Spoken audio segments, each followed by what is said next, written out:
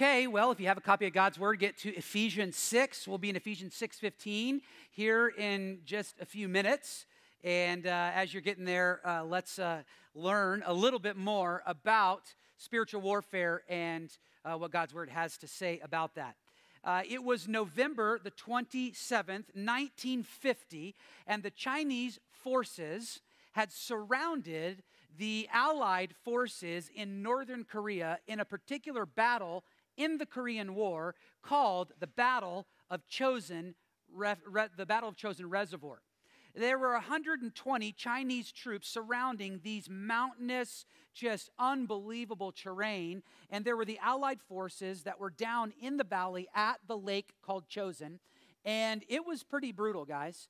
Uh, if you could imagine bullets flying from every direction, you were completely outnumbered. You felt like retreat was the only option, and survival was minimal. Like, that's probably not going to happen. And not only were you surrounded by an enemy that was just charged with an all out assault to kill you, but also you were enduring brutal, everybody say brutal, brutal conditions. Brutal conditions. Guys, if you can give me a little house lights, that'd be great brutal conditions. The, uh, the weather was roughly around average of negative 36 degrees Fahrenheit, maybe even as low as negative 38 degrees Fahrenheit. Everybody say, burr. Man, that is chilly. That is some cold weather. The, the variables were so intense that the tundra below you was freezing, the air was freezing. I mean, literally, survival was, can we be honest? Optional. it was just, it was optional. And with the enemy encroaching on you, you don't know what you're going to do. Well, it was in this particular battle that Chesty Puller was uh, the most decorated United States Marine commander in U.S. history. He said a very, very famous thing, uh, two particular statements. Uh, number one, he said, We are surrounded. Good. That simplifies the problem.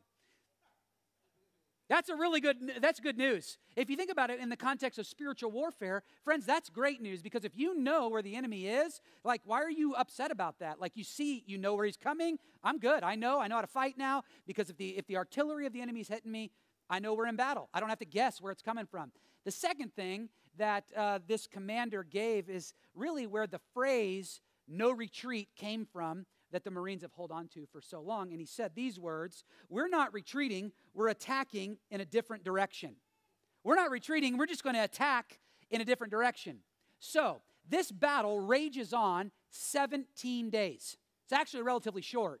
And uh, with all of these ridiculous conditions going on, finally, these Allied troops figure out like a, well, let's call it a, a weak spot in the Chinese military, and they find a way, like a little pathway out to get a vantage. And actually, they take out, some say a quarter, some say as much as a third of those 120,000 troops in this particular battle, and they basically were able to go off into safety. Technically, when you look at the wars and the records for the wars uh, in the United States, like win loss column, technically the Chosin battle was a loss. Uh, but there was great, great learnings from this that actually led to further future victories. You see, they learned something from this particular battle, even in the loss. They learned something about the soldiers' equipment. Some great learnings. They, these soldiers are issued six pairs of socks and a particular style of shoes called shoe packs. P A C. They were issued shoe packs. Now, these particular boots were leather in the outsole, and then the insole was a rubber insole. Now, this sounds almost unbelievable, but you just have to take my word for it and go watch the documentary on your own. You can see it. So, this rubber insole and the leather outsole created something fascinating in sub zero temperatures. It created a microwave on the foot. The foot began to perspire and sweat, and then, as soon as that perspiration hit the air, the negative 38 degrees turned that sweat immediately into blocks of ice in their foot, and soldiers had frostbite in their boots. The men who survived that particular battle is, are infamously called the Chosin frozen for that very reason. Now, what the military learned was they assessed, they pulled back and they said, hold on, Oh, this was a loss, but what's actually, what, what are we learning here in this moment? And so they come back and they pull and they go, We understand that in order to maintain success in battle, to have victory in battle, you got to have good shoes on your feet. You got to have some good shoes on your feet in order to stay alive and to thrive and to push back the actual enemy that's coming to kill you and to take you out. So, this led to what we now know as the Mickey Mouse boot. Now, not the character, but go research it. And that particular boot in the military fashion, if you could say it that way. It is the literal newest technology that our military invented that is the baseline for all military footwear across the globe. And it changed the game for soldiers forever. You see, what the military knew was that a good pair of shoes will actually aid you and aid me in battle. A sermon in a sentence, or the big idea, if you will, is that you and I, we have, in order for us to stand, in order for us to stand strong, there are certain shoes that I have to put on. If you want to stand strong in battle, there is a particular kind of shoes that you and I have to put on in that battle in order to stand strong, to maintain our position, and then actually, truth be told, is to advance into enemy territory. There are certain shoes that we actually have to put on. The Apostle Paul has been telling us how to fight spiritual warfare, how to do this. He, uh, let's get a running start at this new piece of equipment. We're going to start in verse 14, and he said these words Stand. Everybody say, Stand. Stand, therefore, having fastened on the belt of truth and having put on the breastplate of righteousness. The Apostle Paul has given us two pieces of equipment to engage in spiritual battle. He's given us a belt of truth. The scripture tells us in other translations to gird our loins. The truth uh, that we put around us will stabilize us when the world is unstable. You see, if you and I uh, base our lives off of the subjective feelings that we're having in one particular moment, we'll waffle, we'll bend, we'll break, we'll fall. But if you and I place our faith and our trust in the, subject, the objective truth of God's word and what it says, it stabilizes, has a stabilizing effect for our lives when the enemy comes and attacks. Then Paul says, add to that that 70, uh, not 70, the total armor is 70 pounds, and the bulk of the weight of that armor is found in the chest. Now, if you could imagine that uh, Roman soldier holding that breastplate, they're, they're crippled over their shoulders because that weight is weighing it down. Unless they have the belt of truth on them. And that belt of truth stabilizes and helps disperse the weight of that uh, breastplate of righteousness and allows them to stand strong because the belt supports the breastplate. And the breastplate of righteousness is simply you and me living in right alignment with the truth of God's word. And that creates the environment that invites God's blessing, God's favor, and God's uh, victory in our lives spiritually. Then Paul adds this third piece of equipment for us. He says in verse 15, he puts these words together and says, And as shoes for your feet, having put on the readiness given by the gospel of peace. Can I just say, finally, finally, something we can all relate to? I never owned a breastplate. I've never, I mean, I got a belt, but I mean, I don't think about belt as something that's awesome. I mean, maybe you like belts. I don't really, I mean, belts are neutral to me. But I do like shoes. Shoes are awesome, and shoes make sense, right? Shoes make sense in engaging in battle because you don't go into battle barefoot. If you go into battle barefoot, you're losing. You're losing that battle. So he gives us shoes, a particular kind of shoes. That's actually really important. So I started thinking about shoes and the functionality of shoes. And uh, we all have shoes. I, I, got some shoes here. And let's just talk about what these shoes are good for. Um, and uh, let's have a little bit of fun. We, I don't have anything else better to do, so let's just do this. So, uh, what are these? R- tennis shoes, running shoes. What are they used for? Running, excellent. Yep.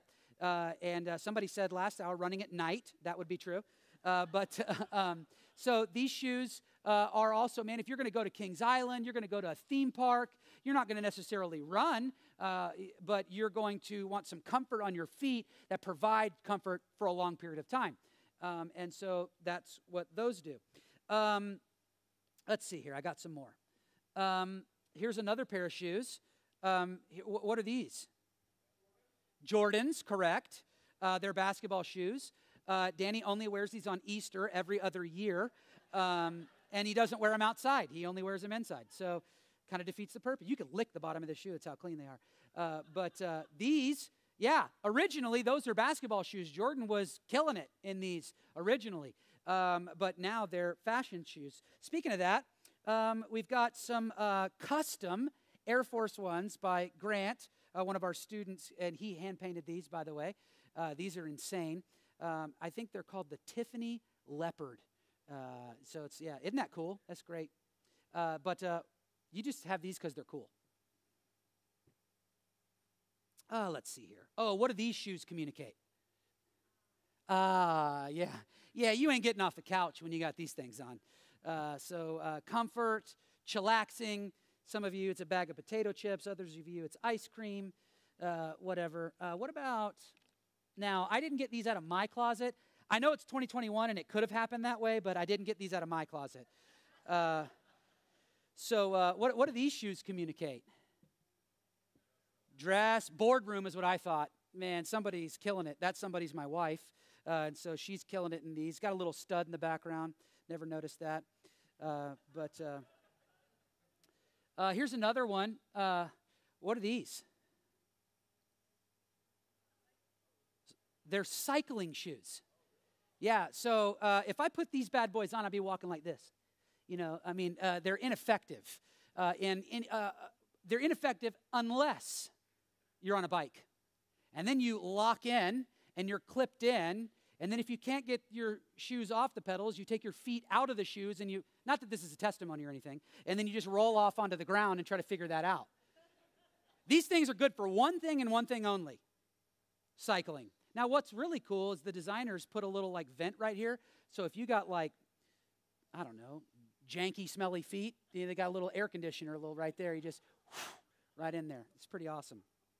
Oh, it's got a little exit too there. You know, entrance, exit right there. Didn't even know that. Okay. Uh, here, what about these? Now, this is from my world. Not, I'm not this person, but uh, I, I, have been before. Uh, what are these? Cowboy boots. Yeah, now some of you want to wear these because you want to be taller. That's fine. Some of you want to wear them because you're going to go do the boot scoot and boogie. You're going to two step. Do they even have those clubs around here, like, like two step clubs? So you don't even know what a two step is, so forget it. We're moving on. Let me tell you what this is.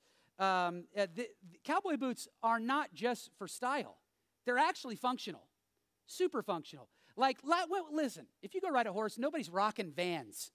Like, you're not rocking vans wearing a horse. No, these have a specific design to them. Actually, this is a. Uh, I, I think these are called, this part's called the shaft, I think is what it is. But this part of the boot is a shorter part of the boot. But typically, like traditional cowboy boots are longer uh, and they protect the leg from when you're riding in brush from snakes or other animals to protect your leg so they don't get injured. But also, fun fact, you've got a little thing right here that kicks your foot into the stirrup so that you can have support because vans are just a slide, but this right there catches on the stirrup so you're stable and you're supported. Pretty awesome design. Again, it's great for, you know, whatever, but it's great for cowboy night or whatever you're doing in your fraternity, whatever. Okay, last pair. Last pair. These are not mine as well because my foot is not this size. What are these? What are these used for? Sports, okay, but what else? What? Grip, stability. This, the, these shoes would allow you and allow me to cut, to make quick moves. Uh, if it's raining like this, and you know, Kale, my these are my Kale, my daughters. If she's out playing soccer in the rain, uh, then what these shoes allow you to do is to stand and then uh, be able to make quick moves so that you don't slip and fall on your backside and you get smoked and you get beat. Uh, that's not yeah, you go play soccer in these. You, you, uh, no, it's not going to work. Uh, you can't play soccer in these either. Uh, you maybe some other ones, but the best shoe for the function of sports and soccer is a cleat. Now, by the way, when my kids were little, they couldn't say cleat for some reason. They called them cleats. So, cleats is what they are. And this is exactly what the Apostle Paul had in mind when he told us, as for shoes of your feet, the shoes that are armor that God gives you to endure battle with your spiritual enemy is a cleat.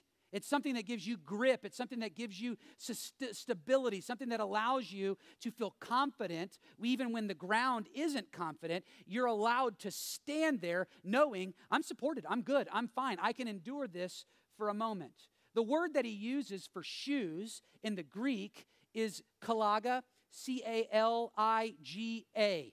The Roman caliga looks like this uh, it's a version of a cleat. Uh, that they would have in the first and maybe second century. And there were these little metal studs that were at the bottom of these shoes, and it allowed them uh, to, get, ma- to maintain their stability and their footing when they're in battle on the battleground against their enemy. Interestingly enough, this denotes something important.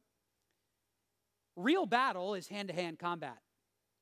Yeah, in spiritual battle, it's not, you don't have a drone that's doing it from a distance. You don't have snipers. Uh, spiritual battle is done in hand to hand combat. And you and I have to have spiritual shoes strapped to our feet that God gives us that allows us to grip where we are in the moment, if I could say this way, get a grip in the moment and stand strong and stand confident as our enemy is coming right at us. He's given us shoes He's given us shoes. Everybody say shoes.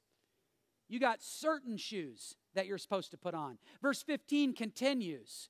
Verse 15 continues, and he says, As for shoes for your feet, we just broke down what shoes is. Now we're jumping over here, having put on the readiness given by the gospel of peace.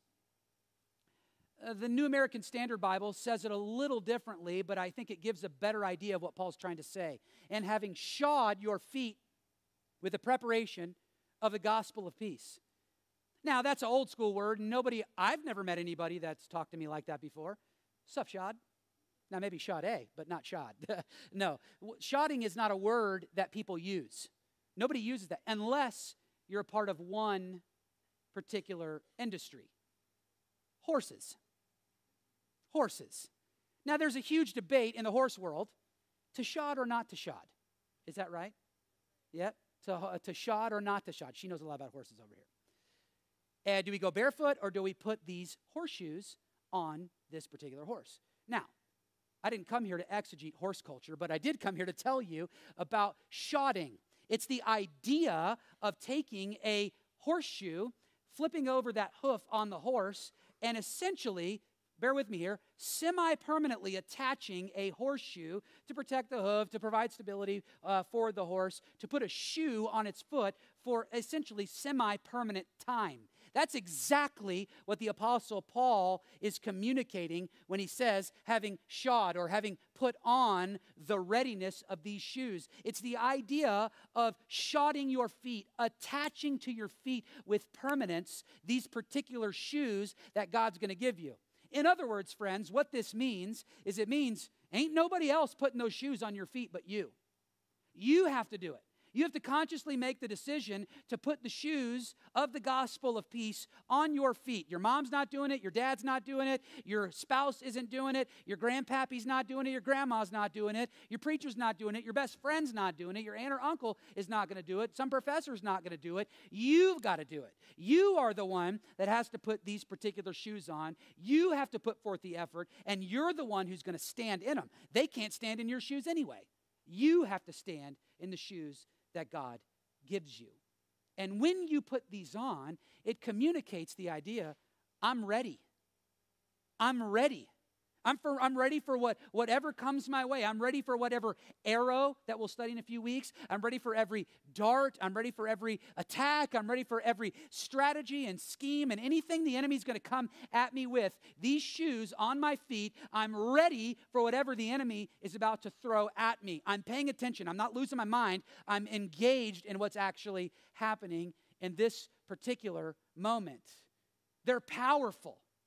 They're powerful. When you strap on these shoes, friends, you're strapping on power. When you're strapping on these gospel shoes of peace, you're strapping on insane amounts of power. Insane amounts of power. As a matter of fact, R. Kent Hughes, one of my favorite commentators, says it like this The readiness of our text pictures us being ready with our caliga, caliga uh, firmly planted on the so- solid ground. Thus, because you're firmly planted, established. The enemy is not going to be able to push back. Rather, he, we are ready to set, uh, set to advance. So you're not just in a defensive position, ready to see what's going to happen. You're actually now in an offensive position. If you guys, uh, I don't know if you're any basketball fans, but when you teach a little kid to play basketball, there's a particular stance that you teach a kid when they catch a ball. Does anybody know what that stance is called? Triple threat. Triple threat is this. What can you do in the triple threat position? You can pivot, you can dribble, you can pass. I would say pivot is not necessarily one of them, but dribble, pass, or shoot. You got three options.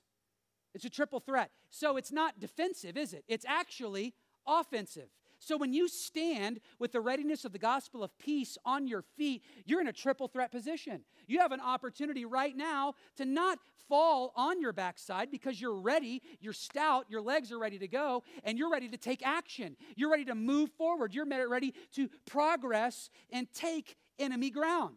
So many of us right now, spiritually, we're not in the triple threat position, we're in the no threat position because you ain't got any shoes on and you're standing there with your arms crossed or your hands in your pockets, and the enemy, all he has to do is go, boop. That's it. Boop. That's one, one little touch because you're not in an aggressive stance, ready, standing firm on the gospel of peace. When you strap those gospel of peace shoes on your feet, you're ready to advance and to take ground. I love Love what the Apostle Paul says. Listen, I got to tell you guys this. I'm preaching better than you're listening, so you better get on the same page. Come on, it's the last week of two services. Get on the ball here. Here we go. I love what the Apostle Paul says in Philippians. In Philippians 3, he talks about this advancing, this powerful advancing in your spiritual life and taking ground. He says, forgetting what lies behind. How many of us know that everything that lies behind us is where the enemy loves to live. He camps out in what lies behind. He camps out over here and he reminds you of, oh, you remember yesterday. Oh, you remember last year. Oh, you remember, you know, what you used to. And then you live in the shoulda, coulda, woulda season of your life. And he is an expert at reminding us of what lies behind. And I just want to tell you that your God is not a God that lies behind. Your God is a God who is an ever present God and a present help in a time of need now. And He is a future God. You look back at God's past faithfulness as a moment to remind you in the moment that in the season of struggle, I will let my faith be built. I will endure. I will be, I will persevere. I will stand in faith because you're learning from the past, but you're not living in the past. Christians don't live in the past. Some of us are living in the past so much right now. And you got to look, well, let's go, let's go sit on some dude's couch or some lady's couch and unearth every single thing that's ever happened to us when we were a kid. Awesome. You go do that. Let me save you 300 bucks. Forget what lies behind. Forget what lies behind. And what does he say? Straining forward. Straining forward to what lies ahead. The best, listen, have you ever seen it? This is what a lot of us are doing as Christians. Get ready because I might fall off the stage. You're, you're running, looking back. Or, I mean, like we're supposed to be going this way, and we're looking back this way, and we're all, we're, all, we're directionless. We're directionless, and we're wondering why we don't live in victory and why we're not living in victory. And really, Satan's like, I love this. This is great. This is my favorite Friday night event is to watch Christians run this way, but they're looking that way and living in their past. He says, forgetting what lies behind and straining forward to what lies ahead. He says, I press on. Everybody say, press on. I press on toward the goal for the prize of the upward call of God in Christ Jesus. Paul is saying, listen, Christians, You need to strap on the right shoes, get your body in the right position. And you don't, listen, you get your shoulders square and you get your hips square, you get your feet positioned firm on the gospel of peace, and you are chasing, you are pursuing, you are running, you are engaging the author and the perfecter of our faith, Hebrews says, and you are looking to him. And when you look to him, you'll easily look back at your life and go, Yep, I stunk that up, but praise God for His grace. And I'm glad that the gospel changes people because it's changed me. And you will begin to live in victory. The reason we're living in defeat is because you live back here. You're living back here. Don't live back there. Don't, and then when you have a family member or you have a friend that's dragging you back, full permission to Holy Spirit beat down. Say, knock it off. What are you? You're not, I'm not going to let you be a tool of the enemy in my life. You want to go have that party? Party of one, go. I'm not involved with that. I'm not involved with that because I'm straining forward. I'm pressing on. I'm pressing on, y'all. I'm so sick of that. Who's sick of that? I'm pressing on. Let's press on. And when you, amen, come on. I love it. I'm pressing on pressing on.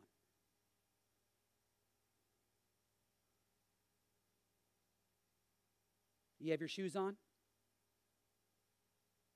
I hope you do. He goes on and he says, And as for shoes for your feet, having put on the readiness of the gospel of peace. The gospel of peace. What is the gospel of peace? It's interesting, actually, as you begin to study your Bible more and more and you look at the Apostle Paul's writings, you'll quickly find Paul likes to write about peace and loves writing about the gospel, but he's never written about the gospel of peace except for here. What does this mean? It actually throws people like the theological curveball. It's like, what is that? What is he, what is he trying to say? What is the gospel of peace? Well, Here's what people have done with this. Is basically what has happened is we communicate this idea. Oh man, because they love this, and they immediately run to Romans 10. Romans 10 is simply a quotation of Isaiah 52, and it says this And how are they to preach unless they are sent? That is a question that we already know the answer. You can't preach if you don't go. Okay, so there's a goingness to the preaching. Okay, cool. And then it quotes the Isaiah 52 7. As it is written, how beautiful are the feet of those who preach the good news. I'm fully convinced that this is sanctified pedicure right here in the text. Some of y'all need to go get your toes cut on. I'm just telling you right now. So here it is. How we all want beautiful feet. And so what he's saying is, is hey, you got good looking feet if you're moving. You got now you got to understand, their feet in the first century were some janky crowbusters because they didn't have leather shoes. They had all they didn't have fingernail clippers. They didn't go get pedicures and manicures. It was nasty, y'all. Nasty. Think toe fungal times a million. It's nasty. Sorry, I just puked in my mouth just a little bit. Sorry. Uh, it was very, very gross. And but and so this idea of beautiful are the feet of those who preach the gospel. And so, what, what we've done, and people who try to interpret what Paul is saying is, oh man, here it is. This is how you bring in the gospel shoes of peace. You strap on your gospel shoes and you get to preaching. And as you begin to preach the gospel out there in the world, you begin to bring peace. I have a problem with that. Specifically, just the text in, in Ephesians. I agree that this is a preaching verse. Romans 10 is a preaching verse of, hey, go preach and it will bring peace. Now, a lot of us are like, no, uh-uh, no, no. I've started to share the gospel at Kroger once and I literally wanted to die. You, you know, so that was the last thing I thought of was peace. I understand what you're saying and I get that. The enemy just wants you to feel weird, like you got two left feet. You don't have to feel weird. He's convinced you that it's awkward and that's, oh man, I got to earn the right with everybody and I got to be friends and I got to. No, they don't. You don't have to do that. I never saw Jesus walk into, uh, you know, one of his great sermons is like, hey, hey, bro, come here, come here. Paul didn't do that. There wasn't a lot of this. Now, I'm not saying that they weren't nice. Paul says practice hospitality. You should. But obviously, Jesus just kind of declared. He declared. He was the walking embodiment of truth, and so his life was preaching truth, and he brought truth wherever he went. I think we should be doing the same thing too, and not feel weird when we begin to talk about Jesus. So, anyway, this is a preaching verse. But Ephesians 6:15 is not a preaching verse. This is not strapping on your preaching shoes and then go preaching and then that brings in the peace of God. Now, that is true. Just find that verse and preach that verse. Preach that verse from that text. That's a major problem in churches today is we like to hijack verses, cherry pick verses that we love and then preach that text. Don't do that. Don't hijack God's verse. Don't hijack God's Bible. Treat it holy and reverently as it is.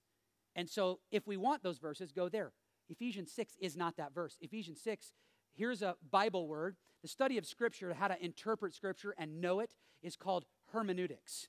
And as you study the Word of God, you learn some laws, laws of interpretation. One key way to understanding what a particular verse is, word is, phrase is, is to understand this concept that the context of the verse helps you determine the meaning of that verse. So you don't just get to go, oh, I like there. That I'll apply that to my life. Well, that's not how this works. Your every single sentence has a point. Every single group of sentences, which is called a paragraph, has a particular point. Every book of the Bible has a big theme, and then every single, you got New Testament has a theme, and then the Old Testament has a theme, and then it all has an overarching theme that all connects together. It all works together. It's not some just rando thing that just happens. And so, what's the context of the gospel shoes of peace? Well, Paul tells us what's the goal of spiritual warfare? Stand, verse 11. Verse 13 says to stand or to withstand. Verse 14 says to withstand. The whole context of spiritual warfare is standing. So these shoes have less to do with going and preaching and has everything to do with standing firm on something. So then let's break it down. What is the something? The something is the gospel of peace. So let's start this. What is the gospel? Great question to write down. What is the gospel? Now, we live in a day where Christians are hijacking this particular word and calling things gospel that aren't gospel. Bro, that's so gospel. So gospel. I don't have anything else better to do, so let me just say this. We've turned masks into gospel. Oh, that's so gospel. Has nothing to do with the actual gospel. Vaccine, oh, that's so gospel. No. Now, those might be safe, those might be smart, but they're not gospel. So we're confused on what gospel is. Well, what's gospel? Man, that's gospel, man. It's like eating a cheeseburger at lunch and going, that's gospel. Why don't you just say, bro, that's awesome, or bro, that's good? That's the actual right way to describe that, but we've hijacked gospel. What is gospel? Gospel is the Greek word evangelion, which means good news. Everybody say good news. It's good news. So maybe that burger is gospel then, right? I mean, if it's 130, I mean, maybe it's no. It's not. It's specific good news. It's a specific kind of good news. Oh, well, let's start with this. Why is it good news? Here's why it's actually good news. Because you and me have a problem. And the problem is is that we are at war with God. You and I, we are at odds with our Creator, God. We are on the opposite side of the street of God because of a little three letter word called sin. You were born into that. You didn't do anything but inherit that nature from your great grandpappy called Adam. You inherited that nature just like I did, and we, our soul is at war with God. We are separated from God because He is holy and can't tolerate sin. So there is a massive chasm between you and God, and me and God, and our souls are at war with Him. That is the bad news, friend. And Paul beautifully puts it out in Romans chapter 5, and he says these great words in Romans 5, verse 6 For while we were still weak, at the right time, Christ died for the ungodly. Friends, that's you and me. Like that ungodly, that, that, that is all of us. I know it's hard for us to imagine all these children. I'm not trying to hate, all these parents are going to leave our church now, but uh, all these parents that dedicated our kids, but our kids are lumped into that. because they haven't had professed faith in Christ yet. Now, they have some thumbprint of God on their life, like that joy and innocence that comes with being a little baby. But as they grow, you begin to see, wow, sin nature. Nobody taught that selfishness. Nobody taught that destructive behavior. Nobody taught that little kid how to backtalk me. They learned that on their own. How did they do that? Because they have a sin nature. They have a sin nature. And so God says that that's us. Now he skips down to verse 8 and says, But God shows his love for us in that while we were still sinners, while you were still separate. If God is here, perfect, holy, just, and righteous, and here we are over here, not perfect, not holy, and not righteous, and sin is what separates us between us and God, God is over there. He's looking over here at you and at me in the state of sin that we are in, and we are enjoying it, friends. We're loving it. We're sinning like it's going out of style. It is awesome. It's like, serve me more of that because it's super, super fun, and I enjoy that that, and it's fun for about a second, and then you feel shame, then you feel regret, then you feel guilt, right? Don't leave me up here by myself, right? Yes, that's how it is. And so, but what God does is God shows his love. Isn't that fascinating?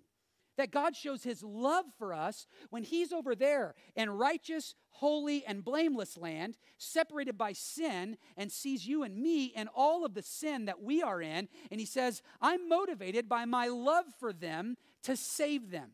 And what I love about this is that God doesn't look through the corridors of time and he sees you out here in some future version of yourself where you got everything together. You've got every sin under wraps. You got everything under control. You no longer have an anger issue. You no longer have this part of your personality that you wish you didn't have. You no longer say these things. You no longer hang out with those people like you are over here living in victorious land. God isn't motivated by a better future version of you. He's motivated by this version of you over here that while you're still sinning, his love is coming to you through his son Jesus Christ to die for you, to bridge that gap of sin and get you to a right relationship with God. Bro, that's gospel. That's gospel. Do you see why everything else can't be gospel? Like the other thing, like other other things can't be gospel. It, the, they're anti-gospel. They're anti-Christ. Little a. They're not gospel. So if we begin to make everything else a gospel issue that God never said is a gospel issue, what's a gospel issue? Sin. sin is a gospel issue, and God's outrageous love to rescue you from that sin is gospel. Since, verse 9, therefore we have now been justified by his blood, much more shall we be saved by him from the wrath of God. You didn't do anything to get yourself right with God. God did that through his son Jesus. He goes on and says in verse 10, for while we were still we were enemies. That's not fun to say anymore. Nobody's writing that book, Enemy of God. Maybe I will.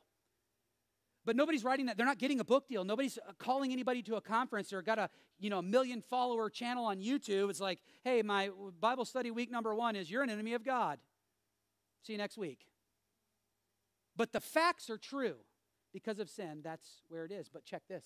But we are reconciled to God by God. Uh, we are reconciled to God the, uh, uh, by the death of His Son. Much more now that we are reconciled, shall we be saved by His life. More than that, we also rejoice in God through our Lord Jesus Christ. Through him, we have now received reconciliation. Bill has been paid. Everything balances out. You are now victorious because of Christ, not because of you. And he, as a good dad, looked at you and said, Look at the way of Christ. Look at how he is. Look at his perfect life. And he begins to turn your heart. He begins to open your heart to the things of God. And you begin to see that. You begin to see that path. You begin to learn that Jesus is the way, the truth, and the life. And you look at that and you go, Yeah, there's no way I can get over there. Only God can get me there. And you express your faith and trust in Jesus to step across that bridge, cross the great divide of sin, and enter into a relationship with Jesus. That's the good news. Now, guess what happens to you and me when that happens? You get to embrace Paul's thesis. Romans chapter 5, verse 1, all the way at the beginning, he says, Therefore, since we have been justified by faith, we have peace with God. We have peace with God. Friends, if you want to put on the peace of God, you have to embrace Christ by faith. You have to believe the gospel. You got to stand on the gospel. You got to stand on the fact that you're a sinner in need of a Savior and Jesus is the only Savior, and you strap that on your feet and you'll stand victorious in battle. The war is won, Christ is ours, and we are His. You don't have to perform anymore, there's no more wondering. Uh, his peace is now our peace. And that is unshakable ground when the enemy begins to attack. It's unshakable ground when you're standing there and your life is firmly standing on the, on, on, the fact that Jesus Christ is the one that initiated this thing. Jesus Christ is the one that's loving me. Jesus Christ is the one that is saving me. Jesus Christ is the one that is empowering me. Jesus Christ is the one who is strengthening me. Jesus Christ is the one who will come for me. And so he will be the one that rescues me. And so if I'm standing on anything else, You're going to fall. But if you're standing on the gospel, you're standing on the firmest and surest foundation when the enemy attacks you. And you now have confidence. You got a little, dare I say, spiritual swagger. You got a little bit of confidence to where you're like, Satan, I don't really care what you're coming at me with today because I know that I have certain shoes on. I have certain shoes that I am anchored in Christ and that He is mine and that I am His and that He will strengthen me in this battle. I have certain shoes on. Well, what does that look like? We see a great picture of this in John 18 from the life of Peter. It's the night that Jesus Christ would be betrayed. Just get into your mind with me for a second. It was cold and it was dark, Jesus was sweating drops of blood and trying to come and interject these two, these three disciples, Peter, James, and John over here. Can you please stay awake and pray with me? I need that support. I need that love. I need that lifting because I need to be lifted right now. As he walks off, somebody says, What's up with Jesus? What's weighing him down? What's going on? Before they can even get the words out, their eyes are already starting to be heavy again and really what felt like maybe minutes was seconds. And barreling through the gate of the Garden of Gethsemane is an army of ferocious religious leaders and temple priests and temple guards under the lit of the torches coming to arrest Christ. And in the front of the line, who's with them? Judas. In the moment, Peter, James, and John step up. Jesus stepped up, and he's seeing this happen. You got to imagine, put your sanctified imagination on for just a second. Peter's like, I knew that guy was a scumbag. I knew that he wasn't with us. I knew he was a punk. Jesus, let me take him out. Before anything else happens, Jesus steps up and he says, Who are you looking for? Who, who, who have you come for? And they answer him, We're looking for Jesus the Nazarene. Jesus takes a deep breath and he says, three powerful words I am He. Whew. In that moment, all the oxygen in the garden evaporates, and these men fall onto the dirt, belly first. They are under the full weight of Jesus' actual name. This would have immediately gone to those religious leaders into their brains, trailed them back into a Bible study, back into Exodus chapter 3, where Moses and this burning bush thing happens, and God speaks to him through a bush, tells him to go deliver the nation of Israel from Egypt. And Moses says, I'll go, but you got to tell me who's sending me. I can't tell him this burning bush from Bezek showed up and told me where in the world I'm getting, who's taking, I, I don't know what to do. Who's sending me? Tell him I am that I am sent you. I am the God who have always has been. I am the God who currently is and the God who always will be. Jesus says, when he says, I am he, immediately in their brains, it goes back to that moment and it's God just showed up in the garden. God is the one who is here. You're looking not just for Jesus the Christ, you are looking for God. And you have been waiting for me for this entire time, and they all fall to the ground under the full weight of the glory of God. And Peter looks at this and says, Oh my gosh, you have got to be kidding me. You imagine the kind of strength Peter felt in that moment. Yeah, that's right. Stay down there. If anybody was going to think that, it would have been Peter. Where does all that confidence come from for Peter? What he does next is absolutely insane. Apparently, one of those guys drops a sword. Peter's like, Yeah, Jesus, you got them, I got this too. And he goes and whacks off Malchus's ear. Where in the world does Peter get this kind of confidence to come at a charging enemy in a vulnerable moment? You get the picture? vulnerable moment, how does he get the confidence to push back into the enemy territory and make an aggressive move? Where does that confidence come from? It comes from the very presence of Jesus in the garden when the enemy attacks, right there with him. The enemy's coming, Jesus is here, and he's like, dude, if the very words of Jesus can make these men fall to the ground, surely if I go charging, they come after me and they start coming after me, Jesus will get them. I'll just cry out and Jesus will be like, and something will happen. I don't know what will happen, but something will happen. And he's able to go into battle with confidence because Christ is with them. Friends, I want to tell you some really good news.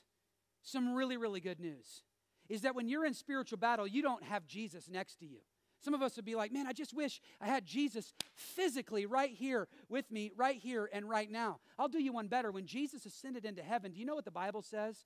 Jesus said, It is necessary for me to go into heaven. It is better for me to go to heaven. Why? Because I'm going to send you a comforter, a the Greek word is paraclete, one who comes alongside of you and who now is in you, and you will have the presence of the Holy Spirit in you. And it is better to have me in you than it is to have me with you. And when you're in battle, you don't have Jesus as your dude off to the side. Jesus is your leader, commander in chief of your soul, fighting the battle for you now. So you can stand in confidence. You absolutely can have confidence. That's the gospel shoes. That's what you're strapping on your feet is like, Jesus is with me. Jesus is fighting this battle. Jesus is standing with me. Jesus is going to make me endure. Jesus is the one who is going to give me the wisdom to lean in, the wisdom to fall back, the wisdom to move to the right, the wisdom to move to the left, when to engage, when not to engage. He's going to make me nimble. He's going to make me quick. And it's His strength in me that allows me to stand confidently on Him as He is in me. John said it later. He said it in First John. He came at it and said, You better be able to test the Spirit. You better be able to make sure that what's coming at you, you know what it is. And the only way you're going to be able to know what it is is if you're girded with truth, you got the righteousness on you, and the gospel is standing you up. You better be able to test the spirits of what evil spirit is coming at you. And then he says this I like this, verse 4 little children. Feels like a little dig, to be honest with you. All right, boys, hush it up. Listen to me. You are from God. That's your identity, friends. Now, if you're not a Christian today, it is all about struggle. It is all about you not being able to overcome. It is all about you fighting and fighting and fighting, going to the self-help section at Barnes & Noble, finding the number one bestseller on Amazon, and you're going after it. You're looking at every blog post, how to overcome whatever, and it ain't going to happen without Christ. That is your story apart from Christ. Constant defeat, utter turmoil, and ultimately, I'm just telling you to be real with you because I love you, it's death. But you actually have an opportunity for life on the other side with Christ.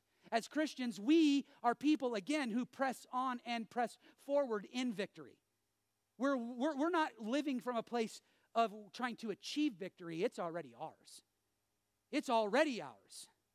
And so he says, You are from God, you're God's, and have overcome those things that are Guys, the things that are already coming at me, the things that are already coming at you that are like laser beam to your soul, you already have overcome them.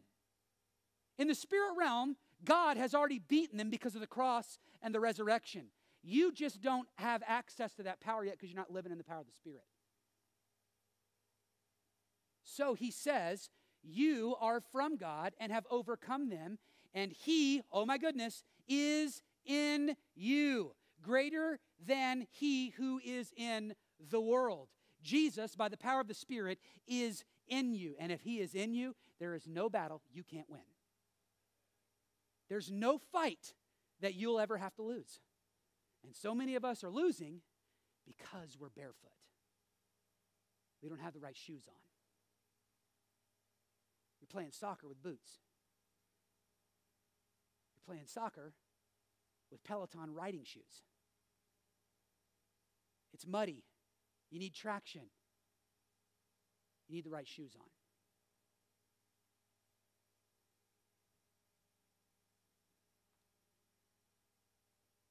As for shoes for your feet, having put on the readiness given by the gospel of peace. the gospel of peace. Remember, Paul hasn't connected these two together, but he's written a lot about peace and a lot about the gospel. So he's got these shoes that he wants for us that are called gospel shoes of peace.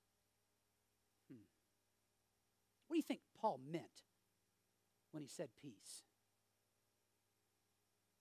Oh, when you think of peace, what comes to your mind?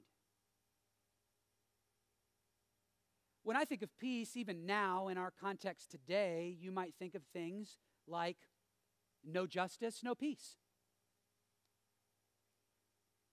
Maybe when you think about peace, you immediately go to a very calm, quiet room where everybody else is calm and quiet and meditating or leaving their body or whatever they're doing in those yoga things. I'm struggling. I've tried yoga. I hate it. I'm not flexible, so I can't do it. Or maybe you're like me and Joy, 31 days and counting until we head south to the white sand beaches of the Gulf of Mexico, and that is what peace is. Come on. You know what's interesting, though? This is the only thing the world offers us as peace.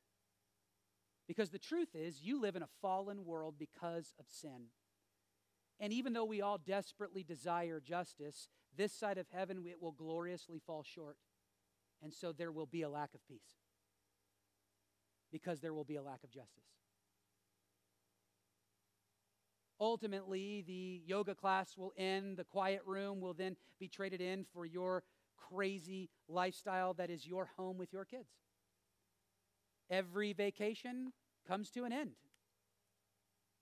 And that's all that the world has to offer us with peace. Even if you drink it, it don't feel good forever.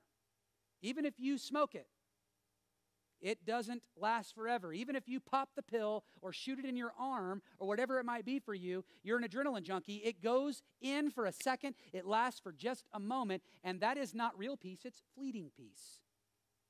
It's a high. That's all it is. So, what is peace then? If that's not peace, then what, what is peace? The story's told of a man who just loves art. And he called on two particular artists to paint a painting of embod- the embodiment of what peace is. So he charges them, tells them he'll reward the one who embodies the picture of peace best on the canvas. And then they come back. First man shows up, he shows his painting, and everybody steps back and is just like, wow, that's peace. And it was a serene picture of some coastal land with great beaches, palm trees, and it was beautiful. Everybody thought, that's peace. So then, when they ushered in the next gentleman with his piece and his painting, it was the antithesis of that particular painting. It was more like chaos, less like peace, and it left everybody bewildered. what in the world does, is this actually going? What is, what is going on? And this is what the picture looked like. The night sky, black and dark, is filled with lightning and the crack of thunder. You can almost hear the thunder in the painting. The wind is howling and whipping. The waves are crashing on the side of the rocks. The rocks are then tumbling. The rain is pelting all around you and all around this whole scene. And everybody looks at that and says, That's not peace, man. Like, that's ridiculousness. That's absolute chaos. Until a man locates the epicenter of peace. He comes down to the bottom part of the painting and finds a little bird nesting there in a calm, serene moment in the midst of all that pain and all that suffering and all of that storm. The bird just sits there perched in peace while all this around her is in chaos. The man steps back. His lip begins to quiver. Tears fall down his face, and he says, That's it. That's what peace really is. That's actually what peace is. I mean, we all know that anybody can sing and clap and dance when the sun is shining and the sky is blue, the stimulus checks are rolling in, the bank account is full, and uh, your health is great, and your kids are obeying. It's green lights every way, every day to work. It is awesome. And anybody can say, I am at peace now because that is easy. But real peace is when the waves of worry come onto the shore of your family. Real peace is when doubt shows up in the dark moments of your life and you still trust in the Father. Real peace is when the pain of rain comes and touches every nerve of your family and your life, and you still say, God, I trust you. God, you are faithful. God, you are still on your throne. God, this doesn't make sense, but your ways are higher than my ways. Your thoughts are higher than my thoughts, and I default default to your sovereign hand of control. And I, like the bird in the middle of the storm, will remain at peace because I'm firmly planted on the foundation of the gospel of peace.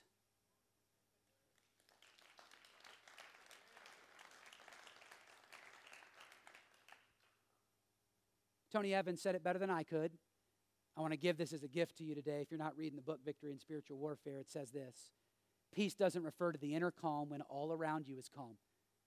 When you are surrounded by tranquility, you are supposed to be calm. When you are on the beach sipping your pina colada, you're supposed to feel relaxed. When you're at the spa getting a massage, you're supposed to feel relaxed. When you're sitting by your pool, you're supposed to be relaxed. All of that makes total sense. That's duh. But the Christian is the one who people look at and go, I don't understand that. I don't get that. Do you see what's happening in your life? Everything's crumbling. And yet you're still hopeful? What, why, why are you okay? When you experience godly peace, you are at rest even when everything else is all wrong. All wrong when the world around you is caving in and collapsing and everything around you just doesn't work. And you're like, God, what is going on with my health? God, what is going on at work? God, what is going on with my friendships? Like, I don't understand this. What's going on? I don't understand this thing right now, whatever the thing is for you. And the thing is, is Christians, what we do is we stand flat footed on Jesus and we stand on the gospel of peace with the girded with the truth of the gospel around our waist and stand with the righteousness of Christ and we are confident and we are moving forward. And when we have the right shoes on it doesn't matter what the battleground looks like. When you've got the right shoes on it doesn't matter what blows into your life. When you've got the right shoes on it doesn't matter what she says he says or they say. When you've got the right shoes on you can be at peace no matter what Remember, our big idea for today is in order to stand strong, there are certain shoes that I have to put on. Certain that I am who I am in Christ. Certain that when the waves come, the winds come, and they crash, I will be at peace. It is well with my soul, no matter what. And when that happens, Paul says, you get a peace. You get the peace of God that surpasses all understanding. If I were to give you just one thing to kind of think about this week, it's this. Paul said in Colossians, let the peace of Christ rule. Let it rule in your hearts. Let it help you dictate your decisions. Let it get your emotions back in check with the truth of God's word. Let it rule. Let it dominate. Let it be the enforcer let it be the enforcer that it is. Let it be the stabilizer that it can bring. Let the peace of Christ rule in your hearts. Father, we